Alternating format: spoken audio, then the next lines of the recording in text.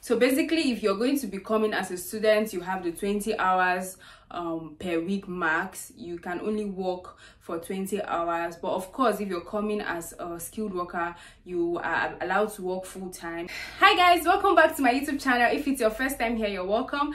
My name is Gbemi Olatunji and I am a biomedical scientist in the United Kingdom. I make content about um, biomedical science in the United Kingdom here and there. I'm currently um, still in school. but Then I try to also share information about um, working in the United Kingdom as a biomedical scientist or a med lab scientist. I'm Nigerian, I trained in Nigeria and yeah, I like to also share contents that will be like really beneficial to Nigerians and Africans at large.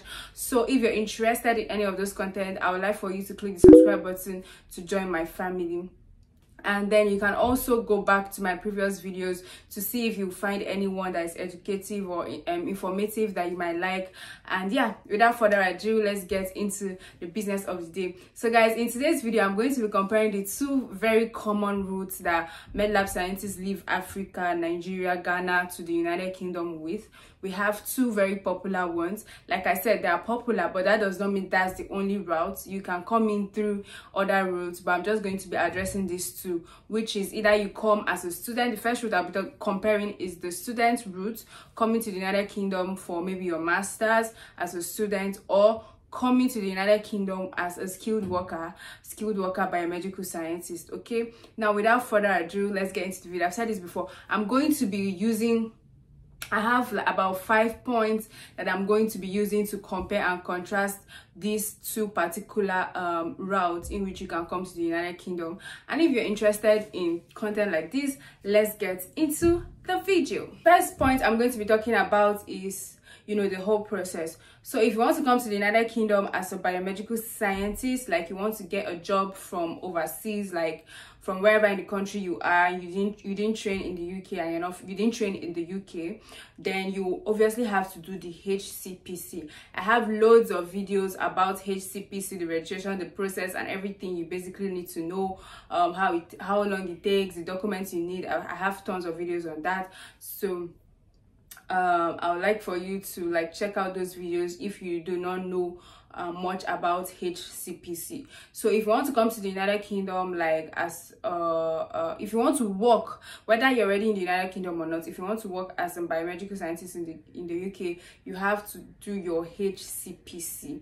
Um, yeah, so that's the step you need to take before you can now so the HCPC is just basically a license then you get your license and then you can start applying for a job right it's just like a license to practice as a um, as a biomedical scientist. Um, I don't want to go into too much details about HCPC. You should check out my previous video about HCPC. If you want to come to the UK as a student, of course, you need to like get your admission. Yeah, that's what you'll be trying to get, an admission. So whilst for the um, skilled worker biomedical scientist, you need your HCPC. For the student biomedical scientist, you need to secure an admission.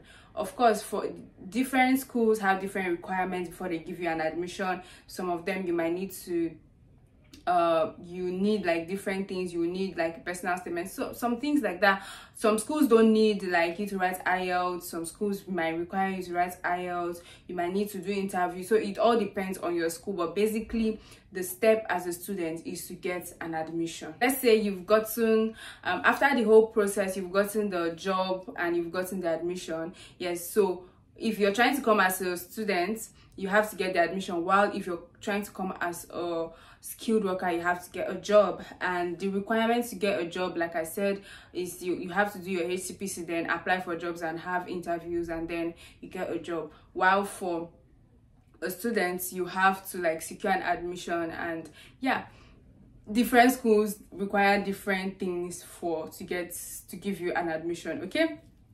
So now you've gotten the admission as a student or you've gotten the job as um, a skilled worker what is the next thing you do the next thing you do is to apply for your visa now the visa type is the next um, um, point that I'm going to be um, talking about. So if you're a student, you're going to be applying for the tier 4 visa, which is the student visa.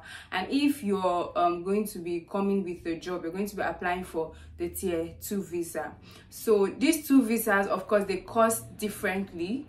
I think the student visa is more expensive I'm not sure of any of this course and I don't really want to talk about a course here because from what I have heard like the the cost of these things like sometimes they fluctuate they can be higher they can be lower. So I don't really want to like say a price and then when you want to like maybe you check and then you find out that it's not the it's not the particular price.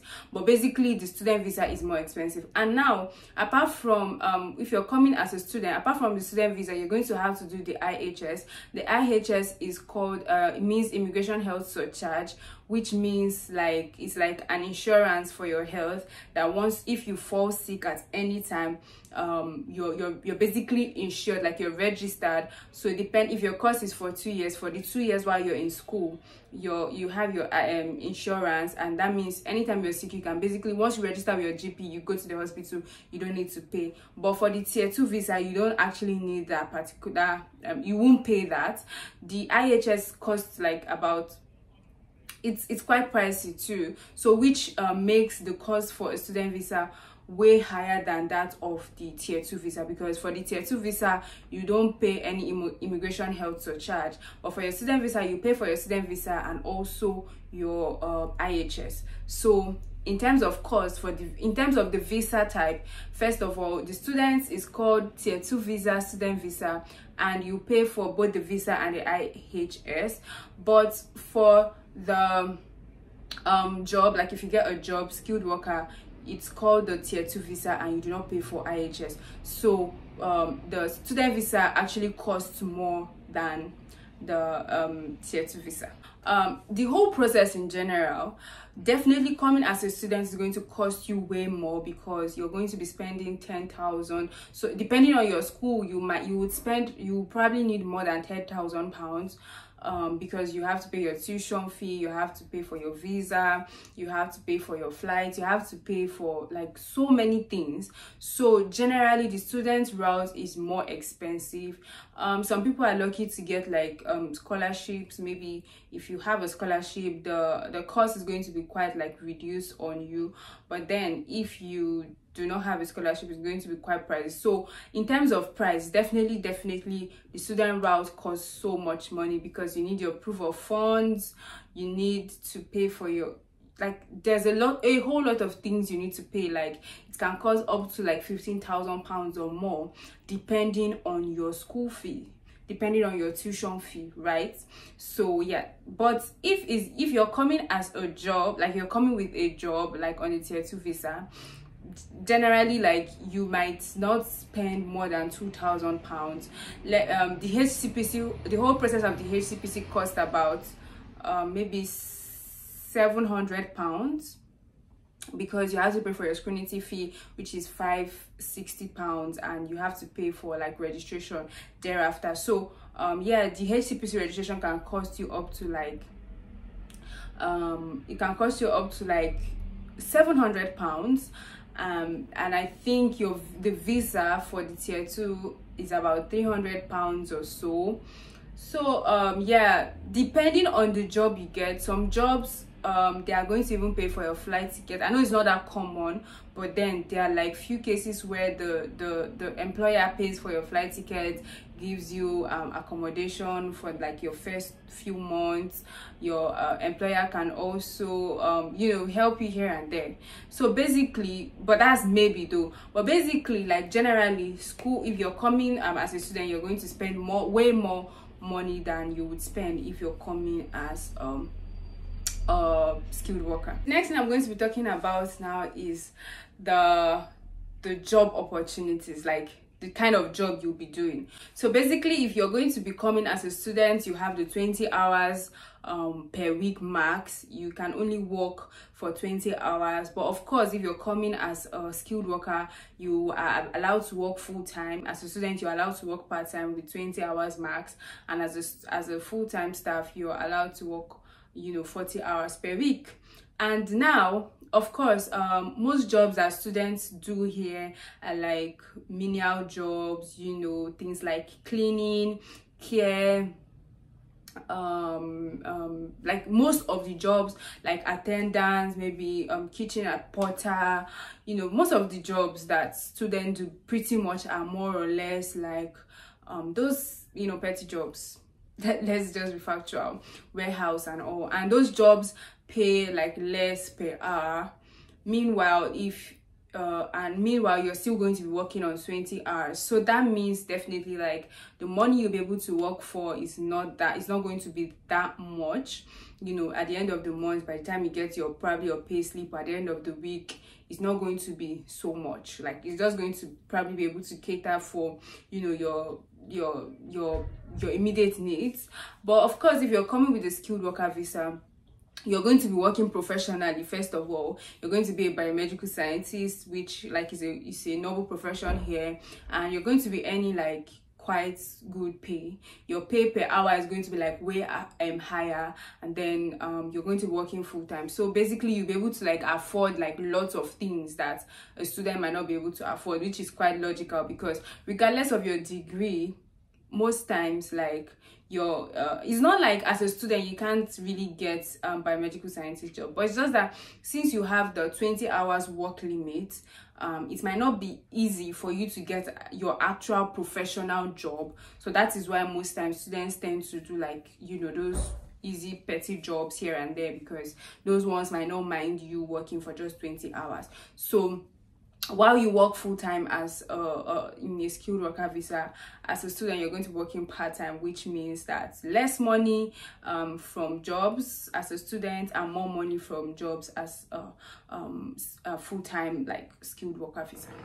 So guys the first point i'll be talking about is the kind of jobs you can apply for. So yes you come as a student um, you just say let's say you come as a student you come and you do your masters and you already have your masters especially you have your masters from the uk and you do your licensing you get your hcpc because you you have like a higher degree or a higher qualification um, you can apply for higher jobs like higher bands um, so basically here in the nhs they have like different bands i think based on your qualifications. So because you've done your masters like and you've done your masters in uk as a you come as a student you do your masters in uk i don't know if you get what i'm saying. You have the, the opportunity to actually apply for higher ranking jobs than let's say you just um let's say majority of people who leave nigeria um as a biomed um as with the hcpc most times like most people just have like the bsc uh, the bmls that's the bachelors and they cannot obviously apply for like if you don't have your masters you might not be able to apply for like jobs that are higher grade or higher bands like band six band seven. I don't know if you get what i mean. So basically i'm trying to say that if you come as a student you at the end of your program when you want to apply for a job you have the opportunity of applying for higher levels of jobs because of your more qualification than if you had just come straight um, as a biomedical scientist from nigeria um, maybe with you just had your bsc so at the end of the day yes the first you know the first year and all might be rocky but it might be able to pay off because you tend to be more qualified have a higher qualification and therefore able to apply for higher ranking jobs than if you had come directly. But then some people also you know have done their masters maybe like back home so they can also still apply for like higher ranking jobs. But the point i'm just trying to make is that if you come to do your masters over here when you're done with your degree and you've done your licensing you are opportune to apply for higher levels of jobs higher higher grade higher band higher job bands than if um, somebody who just probably came you know after a bsc um, straight to the uk like with a job. Um the last point i'm going to be talking about is that for me personally i believe that if you come as a student you tend to have like um, a greater or more people in your circle. Like you tend to have uh it's easy to build a community or to have a community of friends because i mean there's so many uh, you you be in class so you tend to have like many classmates most of you you know are from probably the same country. You guys like know each other. Some sometimes we have people who are classmates who came to the same school you know. So it's easier for you to like blend and make friends. You know you will probably not feel that lonely because you have like you know friends around. Like you're going to school so it's easier for you to make friends. It's easier for you to have like a community of you know like it's it will feel kind of feel like home away from home.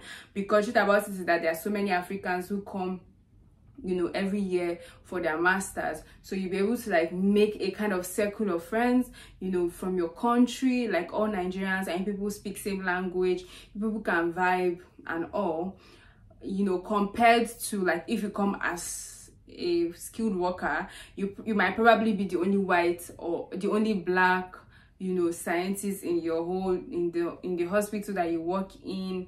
And you know the vibe is just kind of different. When you're in school you tend to have like more people around. You know you tend to have like colleagues like relatable colleagues. But if you're like going to work you know it might just be a little bit harder for you to like meet um like people from your country.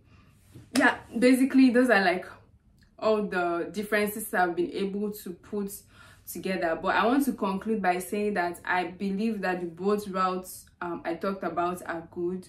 Um, is is left for you to choose which one you want and which one you have the means of you know using I, I don't think anyone is superior to the other i was just comparing so that you probably have an idea if you're trying to choose you would see like these few points and you'll be able to decide which one you can go for yeah at the end of the day I feel like they're all good. Anyone you have the um, opportunity for is fine. I'm not saying that this is better than this or this is better than that, okay? Um, anyways, I've come to the end of this video. Thank you so much for watching. Um, I hope you enjoyed the video. I would like for you to um, subscribe if you want to those points. Give the video a like. Um, share to people who you think is going to be important too. And I'll see you in my next video. Bye.